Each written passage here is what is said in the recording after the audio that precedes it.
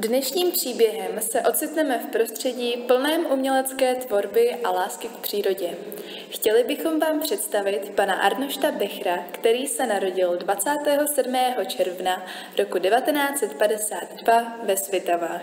Tenkrát nebyla žádná televize, žádný video, žádný telefony, takže my jsme si prostě hrali všichni dohromady. Jo? Jestli to bylo na pískovišti, byly tam dvě, nebo jestli jsme si hrali na schodku ve sklepách, nebo cokoliv. Většinu svého života prožil v období komunismu. Na rok 1968, tedy na významný rok pro československou společnost, má vzpomínku spojenou se svým bratrem. Brácha zbudil a říkal, brácho je válka. Probíhalo to tak, jako, jak to vidíte dneska. Samozřejmě nás to zasáhlo, tady to politické dění, i když jsme o tom vlastně neměli jako vůbec žádnou šajnu, protože jako, eh, nevím jak vás, ale nás to moc jako nezajímalo. Ale brali jsme to, zpívali jsme písničky od Karla Kryla, když jsme jezdili autobusem na Třičku za Vrátka, válka je tady od z Brna 61.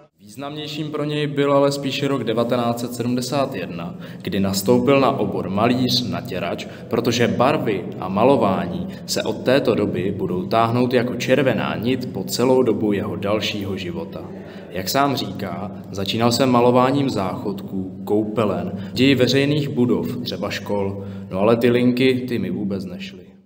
Stejně jako jiní, i pan Becher se potýkal s komunistickým režimem a dělal to po svém. Unikal do přírody. Jak už ve svých fantaziích a umělecké tvorbě, kdy kreslil nejrůznější krajinky, indiány a podobně, tak i fyzicky. Jeho vášní se stal tramping.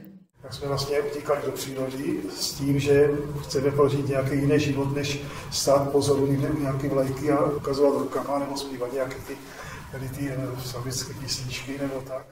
Rád vzpomíná na přátele, čundry, bandry a pobyty v lesích, přírodě a různé akce.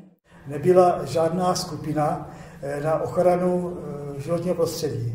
A tak, jak tady byla ta Národní fronta, kde byli svaz žen, hasiči a já nevím, co všechno, samozřejmě komunistí, a to, tak eh, jsem v Raječku udělal svaz ochrany a přírody krajiny, Oni mi za to dali vstupenku s takovou plackou, kterou ještě doma, jmenuje se to Svojšický slunovrat, pak byl ještě Svojšický letoros.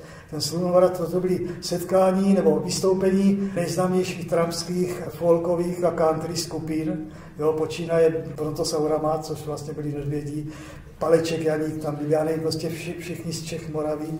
A já vlastně jsem, protože jsem měl tu placku, tak jsem měl možnost dostat do toho zákulisí, jo, tady těch zpěváků a prostě jo, mluvit s nimi a tak.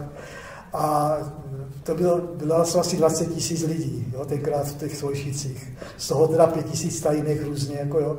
A já si pamatuju, že když zpívali Brontosauři poslední písničku v 11 hodin večer, to začalo pršet a oni zpívali, nevím, jestli to byl lesní zákon. Kdyby, jsme, kdyby nám tenkrát někdo řekl těm 20 tisícům nebo 15 tisíc zrapům, jdeme na hrad, tak jsme šli na hrad. Jo. To byla taková vlastně euforie a to. No a vlastně teď, co jsem v důchodě, tak jsem se dal na malování obrazů a jak jsem neměl, jak to neumím malovat do dneška, pořád se učím, tak eh, se, dal na umalování jako postav tváří a teď bych chtěl dělat výstavu, to půjde příští rok, známý světový i naší osobností plus eh, humor, protože humor mě provází celou dobu mého života a já si tak eh, ze všeho dělám srandu. Pan Bechr vzkázal naší a budoucí generaci ohledem na svoje životní zkušenosti říká jedno, že to budeme mít těžší a těžší.